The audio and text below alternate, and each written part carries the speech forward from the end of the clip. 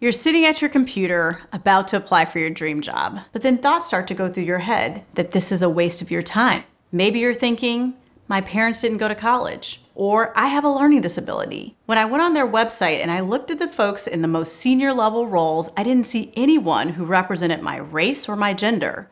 There's just no way I'm gonna get this job. So you don't even submit the application.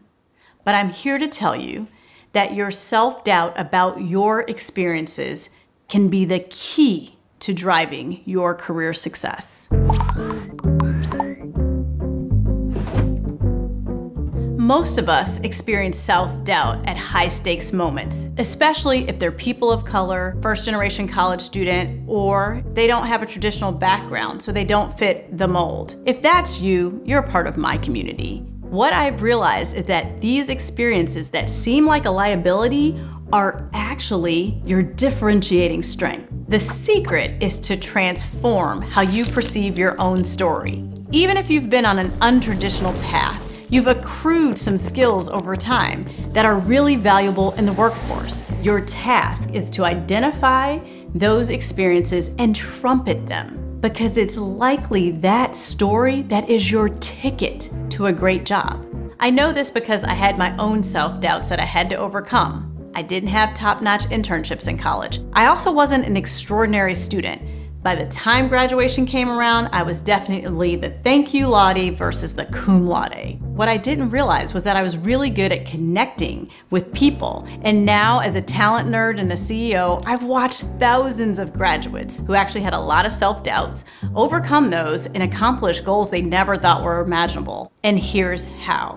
Ask yourself two questions. The first is why do you want to do this work? Maybe you already know the kind of job or work environment that makes you happy, or maybe you haven't quite figured that out yet. Usually, your personal experiences can help give you clues. For example, did your grandmother do manual labor and it made you really worry that she didn't get access to high quality healthcare?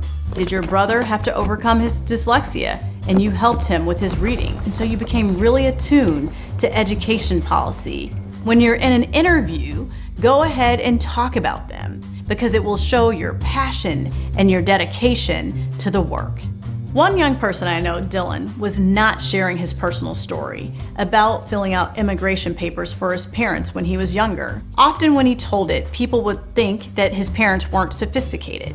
Dylan realized that he needed to harness the power of that incredible story along with his academic talents. He told it in a way when he was applying to law school that made it clear why he wanted to go into advocacy law. He is now in his third year at Georgetown Law. The second question you have to ask yourself is how can I share my story to showcase the unique strengths I will bring to the work? For example, did you have to work multiple jobs while you were in college that did not at all align with your major? That shows an employer that you have time management skills and a strong work ethic. Did you need to drop out of college because one of your parents was sick? Fill in the gap. Talk about how you administered their treatment plan. Talk about how you had to work around their complex schedules. That shows that you're thoughtful, that you're compassionate. And you know what? That is what makes a great teammate. Reframing the hardship in your story can remake your confidence over and over again. But it takes time. It's like running a marathon. You have to train and practice. Go back and reflect on those tough questions that you need to answer. The answers are what makes you, you. And I have to tell you, when you learn to practice that story, tell it with conviction, I am sure that the hiring manager is going to hear the strength in it too.